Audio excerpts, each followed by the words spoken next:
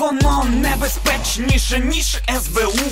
Для мозку корисніше, ніж ПТУ. Великий вплив має, як НБУ. Про блогерів шоу. Дивись ТБУ.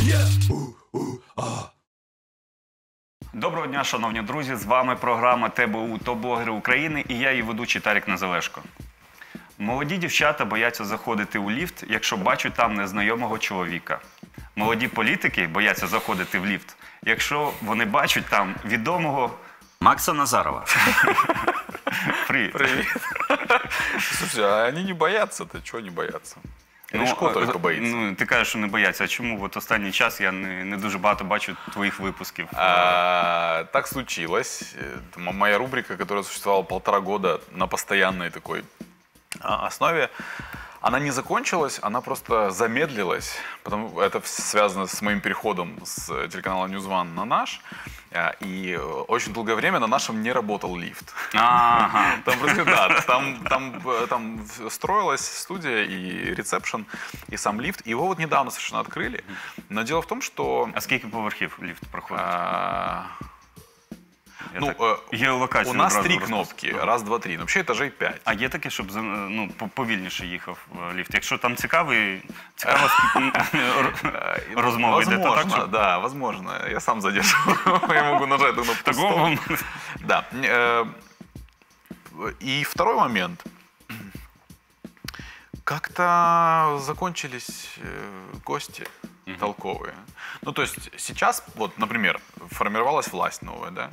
М, Там, если раньше я мог завести в лифт Реву, там, министра с конкретным резюме заявлений и там, с конкретными какими-то вопросами, то сейчас какого министра мне завести, чтобы мой лифт набрал там хотя бы 10 тысяч просмотров? Это ну, Гончарука, но он пока еще не ходит ни на какие средства массовой информации в принципе. А, к- кого-то из э, З, да, я уже заводил, и у меня Дубинский был в лифте.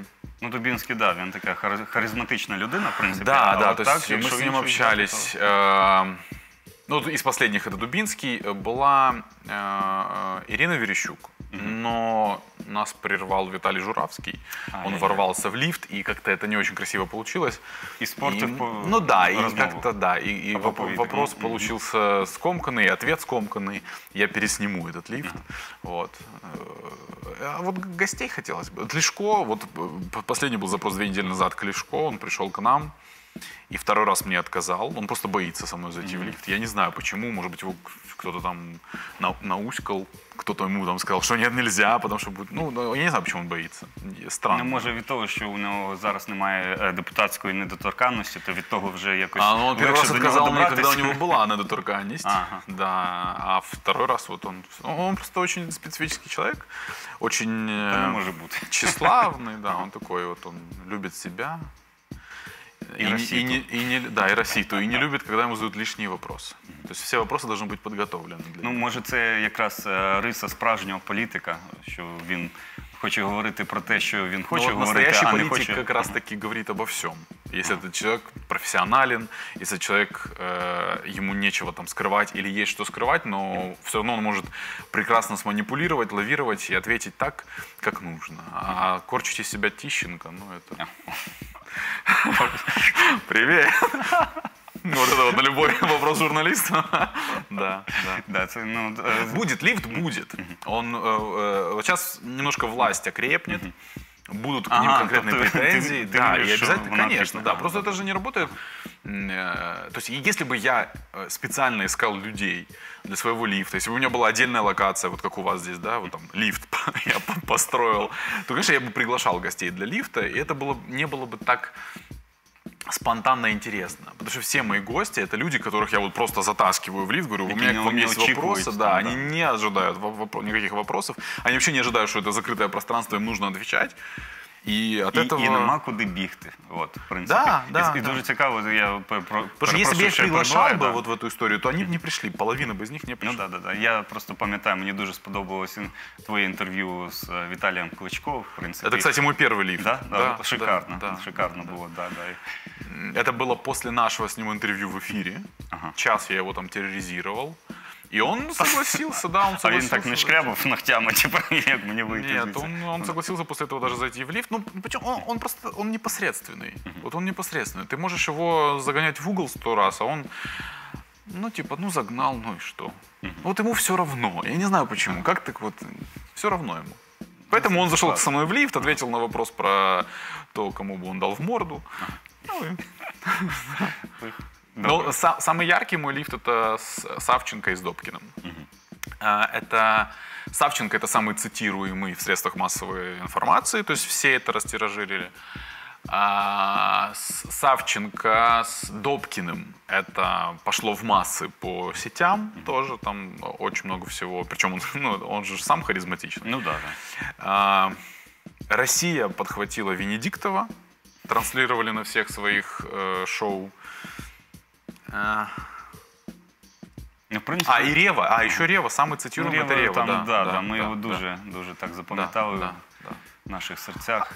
А остальные, ну, и- да, были, смотрели, но такого прям фидбэка, чтобы вот аж все, все процитировали. Я же работаю как раз-таки на то, чтобы люди массово увидели всю эту историю. А От. розкажи, будь ласка, ну у нас е, програма називається ТБУ, тобто ми кожен випуск показуємо в кінці якогось відомого блогера.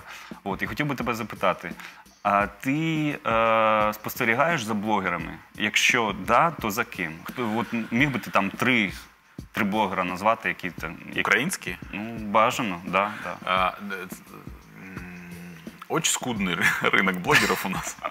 Если мы говорим про политических блогеров, и все э, э, ну, адекватные в, в- в моем поле адекватности, у вас вот э, у тебя за спиной. Присутні. Да. Э, Слежу вот из этих персон э, Дубинский Шарий, Оля Шарий, э, а всех остальных просто знаю. То есть не, не слежу. Ну, за- сьогодні ми якраз от займаємося тим, тим, що будемо знайомити з е, рештою. От. А есть э, блогеры, ко- э, которых я знаю, но они называют себя блогерами.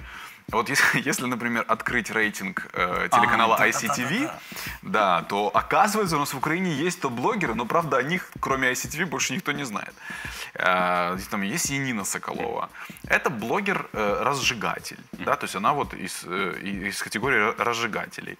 Там э, есть этот э, полтавский хлопец, Андрей Полтава. Ну, Вот это- при- приблизно з той же да, раси, да, ну, они, скажем, ну, конечно, да. То есть я просто говорю про, про другую сторону, да. Они себя считают блогерами, возможно, ну, то есть оно так и есть наверняка. У них есть своя целевая аудитория, на которой они активно работают. Они, конечно, утверждают, что они работают на Москву, э, говоря на YouTube на русском языке. Но на самом деле это вранье, потому что это их родной язык, и поэтому обманывать э, и YouTube, в принципе, приносит просмотры больше, ну, правде в глаза русскоязычному спикерству. А, кто еще? Кто еще? Ну, есть какие-то блогеры, которые рассказывают про детей, про... Ні, ні, то, то, то то, это с- то не досягаємо Да. для нас. Да, то Я, з- смо- я смотрю, э, если не только про украинские, да, я смотрю Пивоварова редакцию, я смотрю Дудя, понятное дело, я смотрю Собчак, э, я смотрю А поговорить, э, Шихман. Нежный редактор. А, Вы же понимаете, что это все, я перечисляю российских. Ой, ой, ну це ми виріжемо. Ну, то есть Да, это интервью, это то- интервью. Э, Да, то есть, например, э, м, Навального я не смотрю. А, еще иногда смотрю Лебедева, э, есть такой, но у него больше российская тема, она меня не очень интересует. То есть я как бы знаю, что там происходит, но так, чтобы Ну, у прям нього дуже смотреть. цікаві подорожі. Він Да. кудись поїде, дуже цікаво Е, розповідає про це. Вот. А вот именно интервью с теми героями, которые мне интересны. Потому что не все те, кто есть у Дудя, они мне могут быть интересны, или там у Шишмана, или у кого-то еще. Вот те, кто мне интересны, те, кто за, за- за кем я когда-то следил или слежу, те, да, я смотрю. Добре. Так, ми Хоча це картинка роз- розібралися, Да. да, розібралися. І хочу до наступної теми, бо вона така, е, думаю, всім буде цікаво. Е, скажімо так, е, новий голова партії Слуга народу Олександр Корнієнко. Я хотів би цитату, цитату, пряму цитату. Партия должна выглядеть секси для кандидатов. Она должна возбуждать. Это смешно. Очень А, многие... м- м- Я перепрошую, я, я собі уявляю, що, мабуть, наступне засідання в Верховній Раді мають початися з того, що шановні депутати, е, руки на парту. От, бо... Ладно, Жаль, не бу- не в це «Слуге слухати. народа». Киева в ОПЗЖ. Ну, Ківа буде, е, не буде сумувати, да, Ну буде да. казати, що Он, він кстати, один. новый, новое видео записал. Е, Да, я, обратився до речі, так. подивився, да, воно, в принципі, так, таке вражаюче. Если бы я не знал Киву лично, я бы поверил.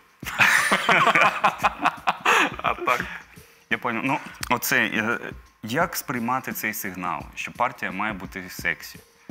Ну, если прям серьезно воспринимать Ну этот вот, сигнал, да, то вот партия так, должна быть привлекательна для хлопцы, тех, да. э, потому что партия же небольшая, было 40 человек, сейчас вот еще 30, да, в общей сложности 70, а фракция 254. То есть разница есть. Для того, чтобы были новые члены партии, основной партии, основного офиса, то, понятное дело, она должна быть привлекательной. Должна быть идеология, кстати, там тоже запутались, какая же у них там либертарианство или что-то еще. Да, до речи. Или социалисты. Во- Вообще, если честно. Вчера я, кстати, вел диалог со «Слугой народа». Он сказал, не, мы либерта- либертарианцы, но я говорю, а вот по, по фактам, да, Корниенко сам сказал, что как бы уже и не совсем. Ну, как бы, ну, ну и в итоге, ну, вот здесь точно с идеологией быть привлекательными Питание. сложно, потому что ее нет. Э, Какие-то еще фишечки. Ну, если посмотреть на Корниенко, со всем уважением, то со словом «секси» э, это, это если мы про персонали. Ну, я- я Ну, просто не, не нужно использовать таких аллегорий, когда... Если бы Тищенко вышел, там, партия должна быть секси, девочки, мальчики. Ну, він зараз вже не так багато розмовляє, да. Так или иначе, да. А когда выходит Корниенко, то... Ну, это... Странно. Очень много слуг против, на самом деле, были назначения. Они не колятся. Хотя я задаю эти вопросы, они, да ну нет, вы что, мы за На самом деле были против, я не знаю почему, или, может быть, э, не считают его опытным, потому что это, ну, для меня это выходец из шоу-бизнеса. Он очень много лет занимался шоу-бизнесом. Потом он там начал политтехнологиями заниматься и приводил Може, це каких-то шоу-бізнесу пішов, пішов в цей лексикон такий. да, я І тоже, він я тоже так застосовує думал. тут, да. Он потом начал заниматься э, политтехнологиями какими-то, насколько успешно или нет, не знаю. Привел э, в мэра Николаева, моего родного э, мэра из самопомощи, который ничего не сделал, развалил город еще больше. Ну, я не знаю, насколько успешно это было, как Ні, политтехнология. ну, в принципі, як політтехнолог, його мета була е, Да, да, да, привести может людину, быть, а это далі было- вже... Я просто не знаю других его проектов. Слуги народа тоже они говорят, что они есть. А вот, ну, потому что ну, не- политтехнологу свои проекты раскрывать как бы секретно, да, э, я не слышал. Ну, я знаю там политтехнологов, которые работают над тем или иным проектом, я лично знаю. А, а- а- и, ну, я не буду об этом говорить. Но вот про Почему? Корниенко я не слышал. Ну, ну, это как бы неэтично я чуть-чуть. понял, добре. Да, а вот если бы я хотя бы знал... Був я дудьом би, я б розколов би. Да, Ну, да. а А вот про Корниенко, вот честно, не слышал. Знаю, что он пришел в прошлом году, в конце прошлого года, к слугам, занимался волонтерами. Э, Какой-то суперполитик, э, опытный. Ну, come on. Не Ну, лишко. будемо, будемо дивитися за тими метаморфозами, які скорше за все м, е, будуть здійснені в Но, партії. конечно, с- э, после вот этого вот должна быть секси, это, конечно, сильно. А, Мне кажется, ми у Лешко маємо- где-то дернулось. Ми маємо да, да, галочку таку поставити і кожен місяць запитувати безпосередньо пана Корнієнка, що саме зараз е, він зробив для того, щоб партія стала от, В е, спортзал пошел, я не знаю. Ну, будемо, будемо. Может, с Еременко где-то там сходили в какое-то заведение. Да, да, да, бо Єрьоменко знає, де, як, з ким домовлятися. Боже мой. У меня просто перед глазами Еременко сейчас вот эта- вся эта история. Да, да, да. Е, Добре, д- давай, давай тоді перейдемо до наступної, більш серйозної теми. От, вона пов'язана з тим. серйозні Корнієнка. Е, Ну ні, дійсно серйозна тема, бо президент е, доручив е, безпосередньо е, кабінету міністрів е, розробити е, стандарти змі. Новостей. ЗМІ Так, новостей. Да, так, так, так. Як ти ну, відчуваєш? Мабуть, ми можемо не знати всіх таких е, деталей, які там безпосередньо будуть, е, які Ну, треба інструменти просто будуть видеть, да, да, застосовуватись. да, да. да. Але от є- якийсь внутрішній голос, що тобі каже? Начало на, на що треба пугающее. очікувати? Начало пугающее. Вот такие заявления, они, конечно, а, они, конечно, намекают на какие-то шаги к притеснению свободы слова. А, Я бы хотел, э, если мы говорим о стандартах СМИ, да, чтобы э, наша, на- наш Национальный совет по телевидению и радиовещанию наконец начал работать. И у него есть все полномочия для того, чтобы стандарты СМИ контролировать, регулировать, и указывать. Что Тобто такое на стандарты? даний момент вже є такі. Конечно, есть. Конечно. Не дополнительных каких-то законов, распоряжений Кабинета министров м, быть не должно, в принципе. У нас э, демократия, у нас свобода слова, у нас нет цензуры. О чем идет речь? Ну, то есть, если, Ну, в например, принципі, телеканал це, «Прямой» це те, що має разжигает... бути в лі- лібертаріанській країні. Конечно. То есть, если телеканал «Прямой» разжигает, ну, если у них там э, вот прям реально... то есть, да, вот есть там конкретно от, от, э, не знаю, конкретного лица обращение в суд или в нацраду с э, фактом разжигания межнациональной вражды. Что делает нацрада? Она вы- выжидает специальный термин, когда на телеканале «Прямой» удаляется файл с э, фрагментом этого разжигания, обращается к ним, и телеканал «Прямой» говорит, слушайте, а у нас, говорит, нет этого файла, мы вам не можем его показать. Оппонент, истец, приносит это видео в нацраду, говорит, не-не-не, мы не имеем права смотреть этот видеофайл, потому что нам его должен дать только телеканал, которого вы обвиняете.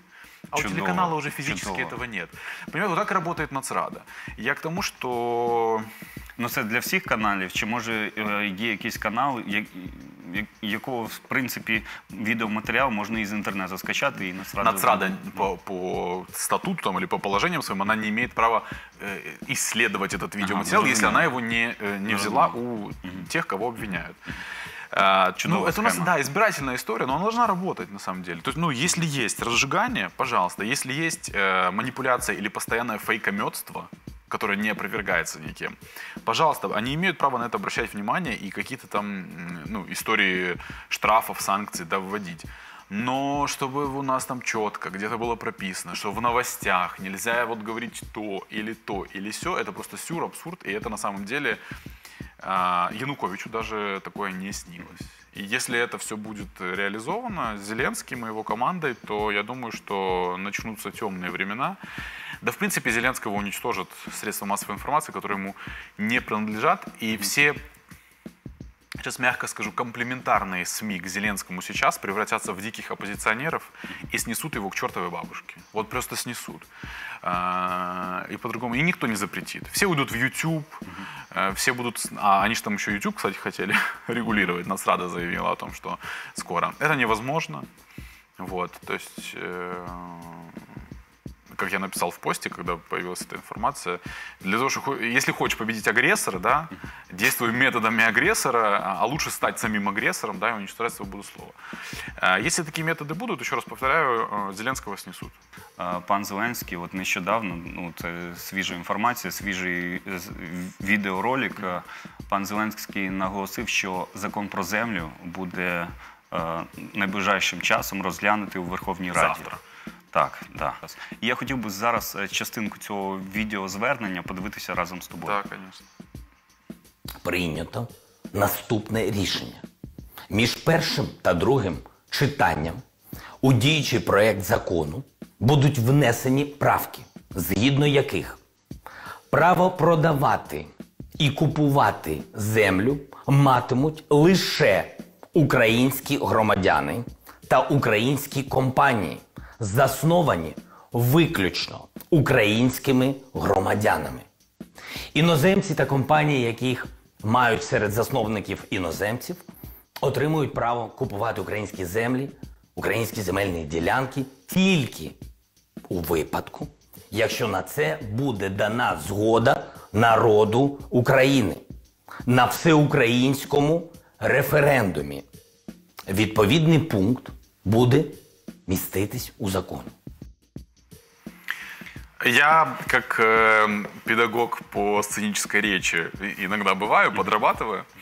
Я могу сказать, что наконец-то спикеры, э, которые работают над речами Владимира Зеленского, они выделяют ему слова, которые нужно подчеркнуть. Они выделяют ему акценты, они выделяют ему ударение. То есть это четко прослеживается. Для тех, кто не понимает нифига в этом, э, они это не заметят. А я прям смотрю, что он читает, и прям четко там написано, какое м, выпадки, не выпадки. Ну, то есть это все четко. На это я обратил в первую очередь внимание. А во вторую очередь, конечно, суть, Ну, которая... може, може, навіть не будемо так углублятися, ну, тому що ми не знаємо безпосередньо, що саме буде в цьому Да, законі. от я- я к чому Але, просто хотів да, пом- на, наскільки це вчасно, наскільки це безпечно зараз. Ну, Вообще очень опасно. Почему? Э, Нет проблем с открытием рынка земли. Мы реально как Камбоджа какая-то. То есть мы э, одна из там пяти стран, причем диких стран, э, в- там, на границе с Северной Кореей, да, у которых закрыт рынок земли. Вот вообще, от слова вообще, он закрыт. И, конечно, это неправильно. Его Ну, в нужно принципі, открывать. в Англії теж ринок не дуже відкритий. Ограничен. Он там ограничен. Ну там неможливо придбати, можливо, на 100 років, наприклад, взяти в оренду, але Но все равно правила прописаны четкие. Я к чему? А, у нас не цивилизованное государство. У нас э, правоохранители крышуют контрабанду, а, мародеров, бандитов. я знаю, вот я тоже э, там писал у себя, я знаю, как это работает в аграрных регионах. Я знаю, как э, э, чуваки, которые разъезжали на тракторах, сейчас разъезжают на рейндж-роверах. Только потому, что они как-то на тракторах въезжали прямо в дома. на чиюсь ділянку. Да, и, и- и с э, ружьями э, покупали или арендовали, как сейчас, да, то есть арендовали на там, 50 лет или на сколько можно, э, абсолютно за копейки. Я знаю, как это работает. У нас не- нет законов, у нас они, али, может быть, есть, но они не работают. У нас нет правоохранителей, которые за этим, за этим следят. У нас нет честных судов. Наши э, селяне, я не говорю сейчас вообще про рынок собственности в Украине. У нас никто не защищен. В этой стране никто не защищен. Вот как тебе пойдет, так пойдет. А земля это, ну, то есть это по, по сути, без популизма, да, это последняя э, такая ценность, которую бедному, подчеркну, бедному украинцу можно придержать. Потому что богатый украинец, он, ну, пожалуйста, продавай сколько хочешь, мне все равно. А ну, бедный, вот он продаст за тысячу долларов или за 500 долларов. Я даже сомневаюсь в таких ценах. И он никогда ее не вернет. Он никогда ее не вернет. Вот как бы есть э, опасения. Просто вот год, два, три, наведите порядок. Сделайте так, чтобы у нас Тобто была це прос- не, не, не, те питання, яке першочерговим треба ставити ну, першочерговое, это розгляд. нужно им же ж, э, э, такой молниеносный, э, кстати, короткий эффект от э, каких-то реформ продемонстрировать. То есть вот п- почему там укрепился доллар, почему э, Ну, це появились деньги в це бюджете. граються, да, да. Ну, там сколько, 5 миллиардов долларов м, может э, появиться, ну так, в, в короткой перспективе. Ну, что, что такое 5 миллиардов долларов? Ну, это же Ні, ну тут питання ще в тім, що, наприклад, і е, наскільки я розумію, наскільки я відчуваю, то в принципі люди з різними поглядами вони все ж притримуються позиції, що землю не можна продавати. Не, ну вообще І- можно, просто люди враховуючи- сейчас не понимают это. Да, і враховуючи те, що в принципі е, через там 10 днів е, буде е, шоста річниця подій на Майдані, початок Майдану, 21 листопада, то от я от е, зараз це якось е, між собою ну, порівнюю і наскільки це вдало в цей час розглядати таке болюче питання.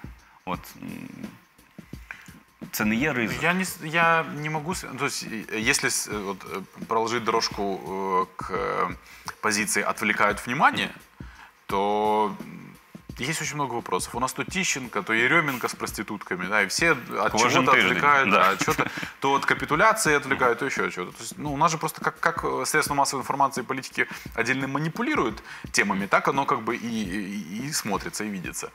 Можно ли сказать о том, что Земля — это отвлечение внимания от чего-то? Я не думаю, потому что Земля уже достаточно давно э, обсуждается. Если говорить про какие-то ценности Майдана, то м, Ну, що Майдан може вийти проти. Ну, ну, я, по- я цієї понимаю, ініціативи. земельный Майдан Так, да. э, О, не вже, выйдет. Вже і на- назву придумав. Я думаю, что не выйдет, если не выйдут. Вот если его выйдут, этот Майдан, а у нас есть Ну да, политики, там, которые мы- мы разумеем, с удовольствием да, могут что, этим в принципе, воспользоваться, так, да, и автобус подвести, и не один, не а один, 10. Да. тогда, конечно, все возможно. Сегодня, э, или в- я вот не помню, на днях э, э, в не- нескольких регионах перекрыли дорогу селяне. Вот. Насколько это они перекрывали против продажи, да, против открытия рынка. Насколько это объективно, насколько это их собственное мнение и собственная позиция, сложно судить, потому что очень много и очень долго, все 28 лет, по сути, политики разные манипулировали э, этими историями. Да, за 28 лет можно было создать рынок, открыть его и условия создать для того, чтобы каждый был защищен, продавая землю, для, для того, чтобы у нас был там земельный банк, кадастр был чистый, хороший, да, вот. А, а сейчас вот Зеленскому в первую очередь, и Новой Раде, нужно это сделать, а потом открывать. Если это все вот совпадет, тогда это прекрасно. Но пока я я не вижу, да, что я, с- я вижу сначала открытие, а потом уже давайте мы что-то сделаем. потім так не щось будемо будет. вирішувати. Это, это, это утопия, к сожалению. Добре, дуже дякую тобі е, за те, що ти до нас Спасибо прийшов, за твою большое позицію, за тв- твої комен... е, за твій коментар. Попадется лифт, приглашаю и тебя тоже. Добре, дякую. Е, Друзі, а тепер в рамках нашого громадського опитування давайте поцікавимося думками наших відомих блогерів і дивимось. То блогери України. Тут немає табу. Сегодня президент Украины Владимир Александрович Зеленский выпустил видеообращение, в котором рассказал, как будет работать рынок земли. Рада будет рассматривать законопроект о купле-продаже земли сельхозназначения. Видимо, именно к этому и приурочил это видеообращение Владимир Александрович. Такие инициативы «Слуг народа» пользуются мизерной поддержкой среди населения Украины. А большинство селян резко против этой инициативы. Главным образом потому, что это узаконит владение землей в руках крупных латифундистов, как украинских, так и зарубежных. По поводу как раз последних президент и обратился к украинцам. Он заверил, что допуск иностранцев к рынку земли будет возможен только по результатам референдума. Эта поправка будет внесена в закон между первым и вторым чтением. А пока землю покупать смогут украинские физлица и компании. Давайте посмотрим часть этого обращения. прийнято наступне рішення. Між першим та другим читанням у діючий проект закону будуть внесені правки, згідно яких право продавати і купувати землю матимуть лише українські громадяни та українські компанії, засновані виключно українськими громадянами.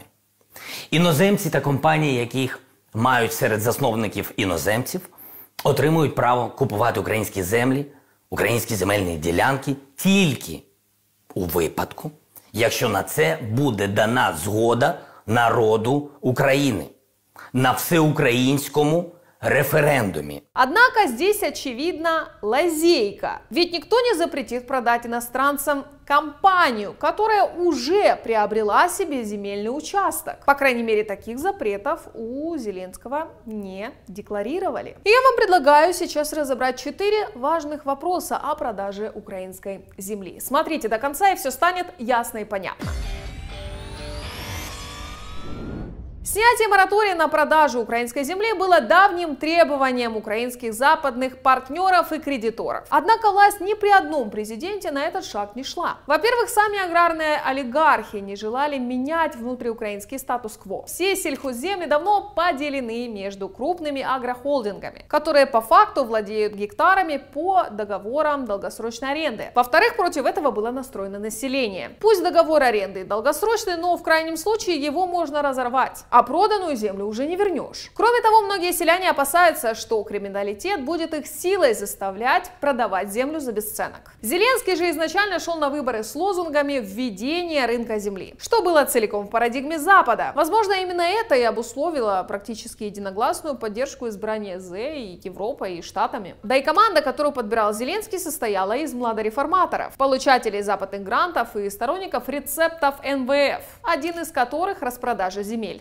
Обязательно с допуском иностранного бизнеса. Но требованию этому много лет. А вопрос перешел в практическую плоскость только сейчас. Видимо, потому что земля один из немногих украинских активов, который может дать краткосрочный прилив больших денег. Как в бюджет, так и в карманы правящей верхушки. На этом багаже власть Зеленского может проработать и до окончания своего срока. При том, что другие источники легких денег, если можно так сказать, уже исчерпаны. Поэтому и встал так срочно вопрос о продаже земли. Тем более, что он прямо увязан с предоставлением кредитов МВФ. Очень важный момент, почему вопрос иностранцев, допуск иностранцев стал камнем преткновения. Здесь опять-таки два аспекта агробароны и простые селяне. Иностранцы, как полноправные покупатели сельхозугодий, это прямые конкуренты украинской аграрной олигархии, которой бы хотелось первой получить доступ к рынку земли и скупить все лакомые куски украинского чернозема за сравнительно небольшие суммы. По сути, просто узаконив то, что они имеют сейчас. Если будет конкуренция со стороны иностранцев, то придется платить больше. И не факт, что украинские олигархи эту ценовую гонку выдержат. В договорах аренды уже практически везде давно записано, что арендатор имеет преимущественное право выкупа надела после снятия моратория.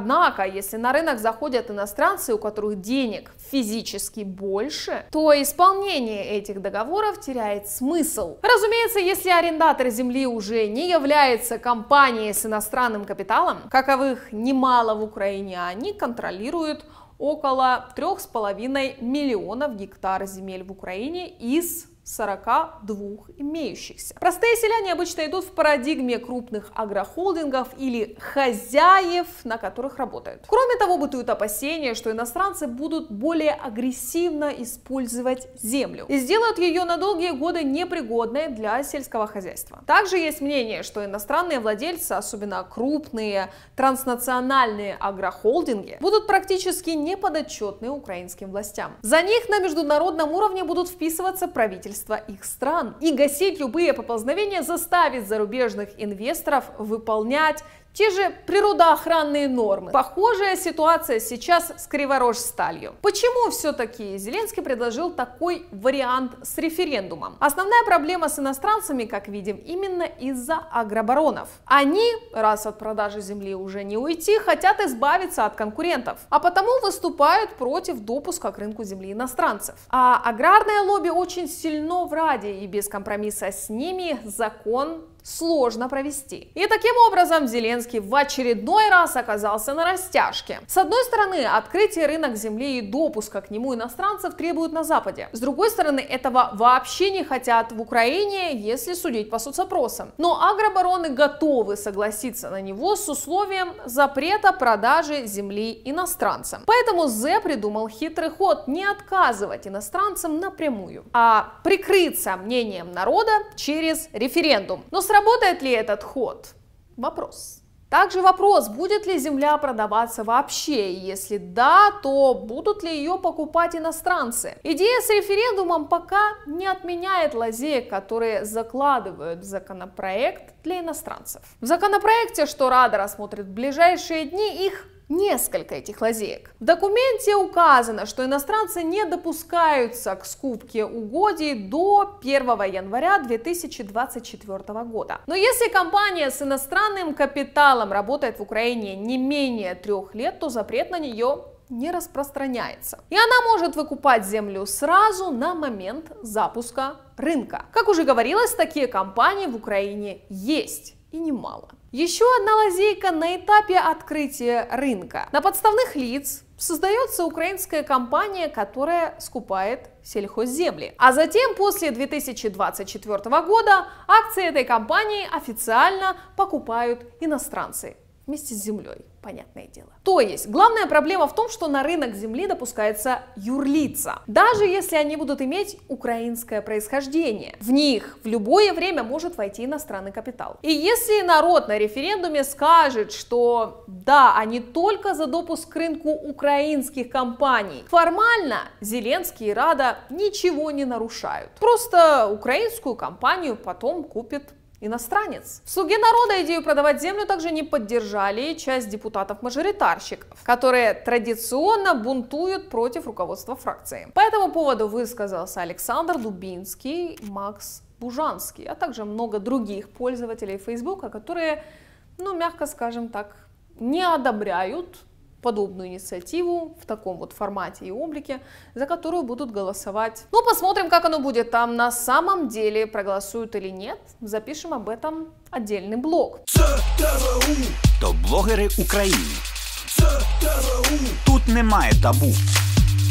Макс, дуже дякую за те, що прийшов. Спасибо Було і вам. дуже приємно з тобою поспілкуватися. Спасибо. Якщо що, заходь, а ми будемо тебе запрошувати обов'язково ще. С удовольствием. Всегда рад э, поговорить на русском языке. Да, это боль.